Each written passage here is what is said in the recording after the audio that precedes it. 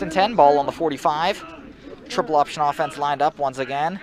Man in motion, the snap, and it looks like he's going to keep it himself. Luptak is breaking up the right side. Luptak cuts back inside. He's going to have a missed tackle there for Waynesburg, and the Tanko wasn't able to bring him down, but Luptak was stopped.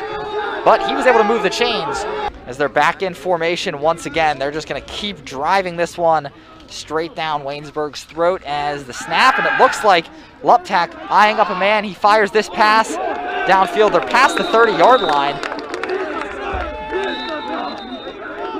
That pass, that was the Pete.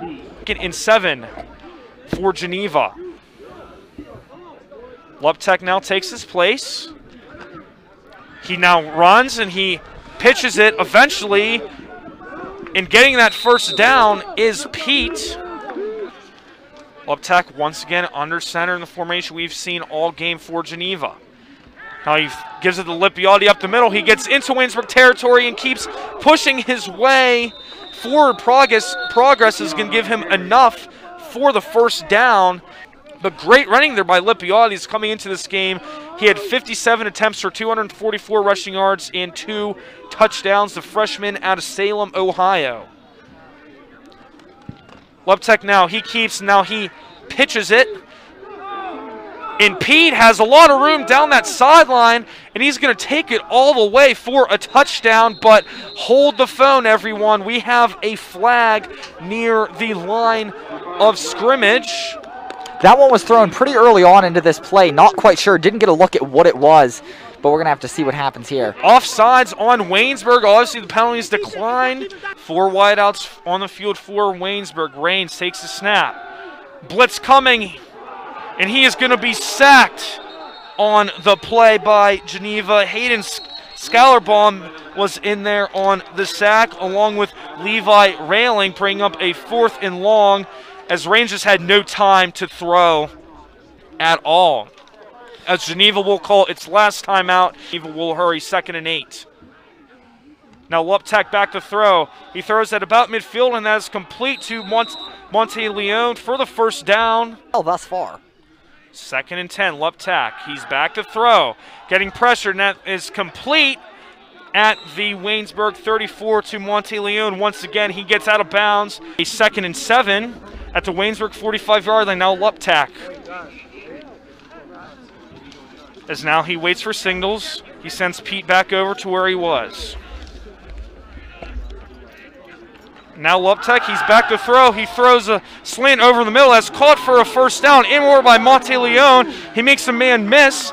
He's now inside the 35-yard line. Got brought down at the Waynesburg 34-yard line. Great moves there by Monte Leon at the 19-yard line.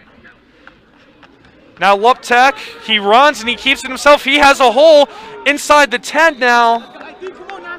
And he will be a couple yards short of the first down. He was brought down. First and goal for Geneva at the four-yard line. Luptek under center.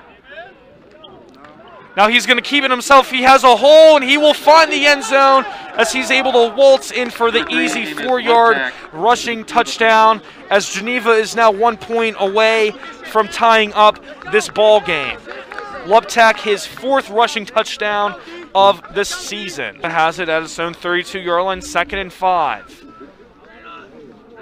Luptek now. He tosses it once again. That is to Pete, and he has a hole. He makes a man miss. He has nothing but green grass cuts in the middle. 25, and he's brought down inside the Waynesburg 25-yard line by Luke Mangus. Second and long.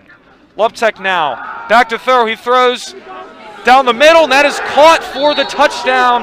That is Peyton Shell, his first touchdown reception of the season in Geneva takes the lead 20 to 14.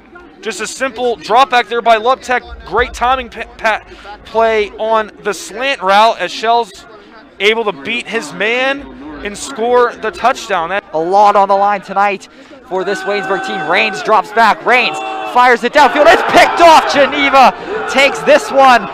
And that's that's it. Waynesburg.